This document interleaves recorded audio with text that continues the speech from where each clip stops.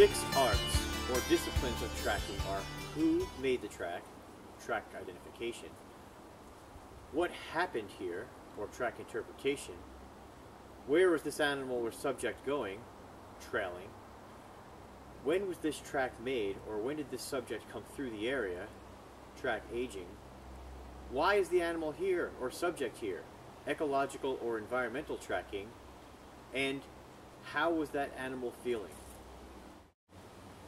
Reading the last five arts much the same way you would read a novel, to get the sense of the subject's mindset, motivation, and intent. It's only through a solid foundation in the previous five arts that you can make such inferences as to how the subject was feeling, what they were thinking, or where they might be now. In some cultures, the sixth art or discipline is referred to as spirit tracking. When studying the six disciplines of tracking, there are two important concepts to remember. The first is that the sequence in which these disciplines are presented helps to build your overall tracking abilities.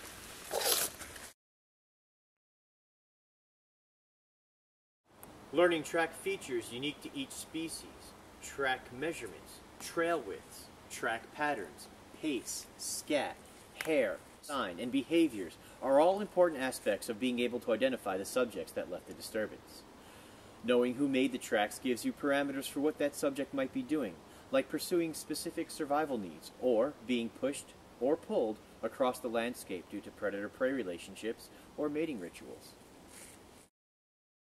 Likewise, being able to interpret pressure releases, track patterns, and signs such as incidental and accidental rubs helps with one of the two more difficult disciplines, trailing. It is easier to stay on a subject's trail if you know the subject's behaviors, needs, motivation, and if you can interpret their track and sign for speed, direction of travel, and changes in direction.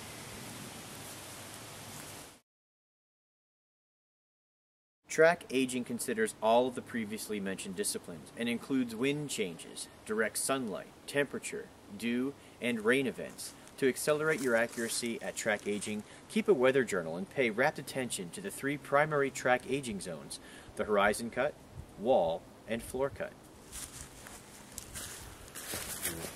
The track you made on Friday looks a little cleaner than the one that you made in you know the later part of the day, which you can even see how there's not even a crisp track wall anymore. It's all just rounded and sloped.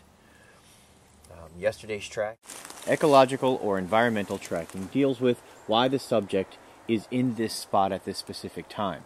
Seasons, time of day, temperature, weather, food availability, predatory pressures, and population pressures play a lot. Remember that most subjects in a given area have survival needs. These needs are shelter, water, and food, with human subjects add fire or warmth into the mix. The deer are a great teacher of how animals are pushed and pulled through their landscape and why they are there. Also, trees are an excellent way to determine what wildlife species you'll see in their understory. Trees indicate a certain type of understory that provides shelter, water, or food.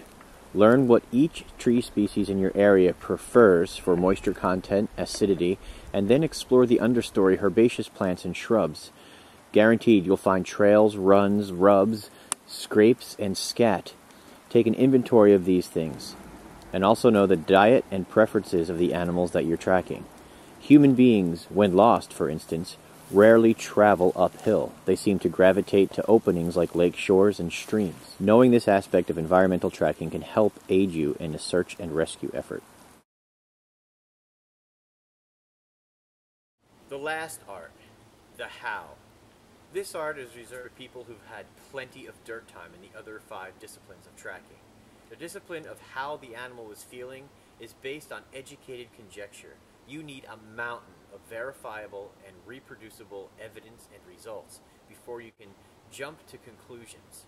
These conclusions, however, can be surprisingly accurate. Again, that accuracy is completely dependent on how solid your foundation is in the other five directions or disciplines of tracking. It is much like watching an American sitcom and being able to tell how the entire plot's going to unfold within the first five minutes. Those of you who have been TV junkies know exactly what I'm talking about. You know the storyline, and how it will resolve itself before the first commercial break. In the same way, you can get on a track and knowing the animal's environment, behavior, the age of the tracks, in the context of the scenes, the larders, the pushes and pulls of predators and prey, and mating pressure, you can predict with about 80% accuracy if tracking is solid where that animal is, its emotional state, what it is intending to do as you follow its trail, even at the time it is doing it ahead of you on that trail, and much more. If you're not familiar with seeing tracks in leaf litter, if you haven't practiced on your belly looking at dust compressions trying to find a mouse over pavement, then you're not going to see, let alone interpret, the tracks and their features in order to get to that level. People who immediately jump into spirit tracking and then enter a scene where there might be a lost person do the entire tracking community a disservice. Just hang that out there as a possibility, something maybe to aim for with your proficiency in the other five skills.